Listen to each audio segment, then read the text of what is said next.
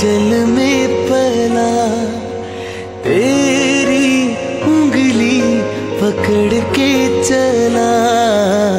ममता के आ जल में पला।